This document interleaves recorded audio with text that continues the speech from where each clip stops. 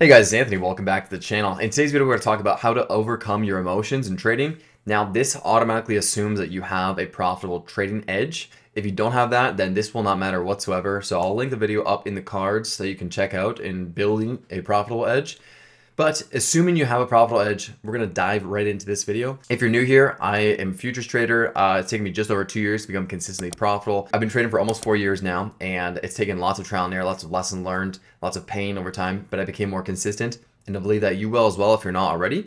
So let's dive into how to overcome your own emotions when trading. If you feel like you're someone that gets in a trade and you know as soon as you get into drawdown you're tempted to close the trade early instead of hitting your stop loss. Or as soon as it goes the trade goes in profit you're tempted to just close the trade and take the profit early before hitting your TP if you're someone that does those things or even just the longer you're in a trade the more you want to close the trade these are all your emotions getting in the way of letting the trade play out.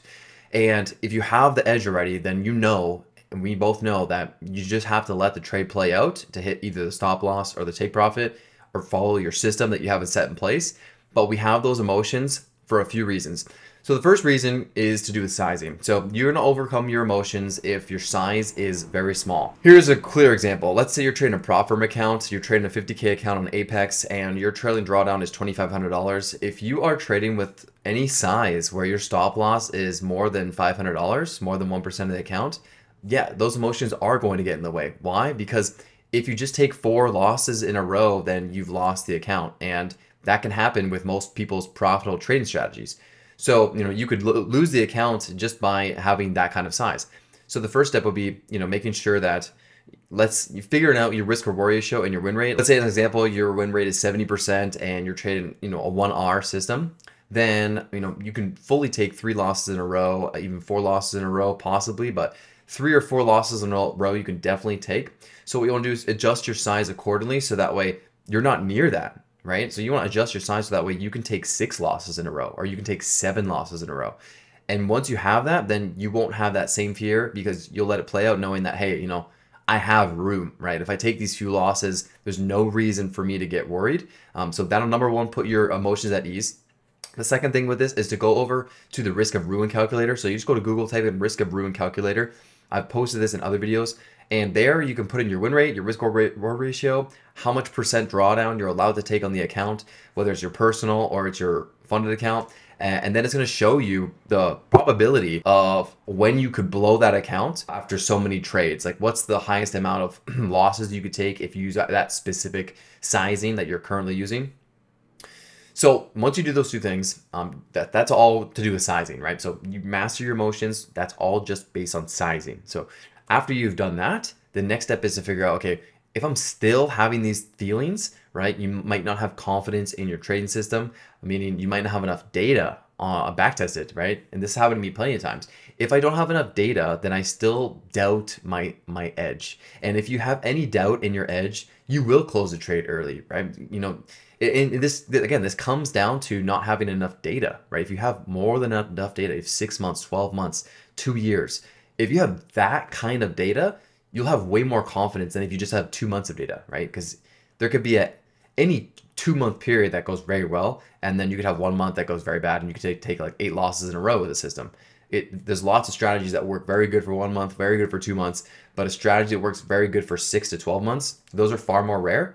So I've noticed as a general rule of thumb, before I put my edge into play and have confidence with size, right? Like I can put my edge into play with very small size uh, early on, but I start to put it in with with good size when I have at least six months of data, right? Six to 12 months is that sweet spot. Um, if you have six to 12 months proving your edge is profitable and you know with that six to 12 months of data what's the you know largest drawdown you've had in those six to 12 months then you can go ahead and take those trades and execute with way more confidence because you know what's the worst case scenario based on those you know six to 12 months as opposed to the worst case scenario of two months you still have doubt in the back of your head because you think like oh what if that was just a good a good stint we had there and now the system may be you know getting flawed and then you could veer from your trading plan right So those those are the two most important, and then the third thing, which is also very important, is just your psychology, right? So you know, have you been getting enough sleep, right? Have you been managing stress with meditation, right? Are you meditating or doing some sort of breath work before the trading day?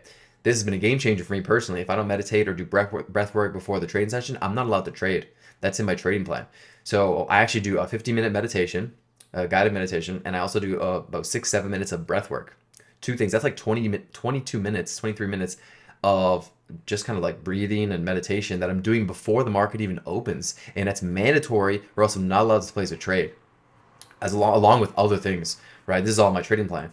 So, you, you know, dealing with stress, with, with these, dealing with these psychological issues is the third step, right? What are those things that are going to help you get in the best mind state? What's going to help you get in the best mind state where you can just execute and not have that hesitation? You want to do those things before the market opens, be all pre- planned and prepared instead of just rolling out of bed, coming on the charts. You're not even hydrated, right? That's another thing. I have to have my electrolytes. I have electrolytes and coffee. I have to have one liter of water. All these things. I actually also have to shower before. I do all these things before I even open up my brokerage or do any of these things. Otherwise, I'm allowed to trade. And why do I do this? Because I want to make sure I'm in the 100% peak mental state before I do any trades. So those three, if you do those three things, you will master your emotions over time. Uh, the fourth bonus thing is is journaling, right? This is mandatory, but this is going to help you master your emotions sooner because if you journal at the end of every single trading day, which I do, or even right after you're done trading, like let's say if you just trade in the first two hours of the day, if you start journaling after those two hours, like hey, you know, I took this trade. Here I was. This is, here's what I was feeling. Here's what I was seeing. Here's what happened, and here's how I feel now if you just journal these things over time you're going to understand yourself better when you understand yourself better you're better to you're able to make these fine details and tweaks to go ahead and improve your trading plan improve your approach to the markets so that's what you want to do to master your emotions in trading this is going to help you become a consistently profitable trader far faster than you could ever imagine instead of it taking three years it could take one year right if you follow along these processes that's going to conclude this video. Hit that thumbs up button if you appreciated it. Subscribe for more videos just like this. I appreciate all of your support along the journey. It's been great. Um, so keep it up. Thanks so much, and I'll see you in the next video.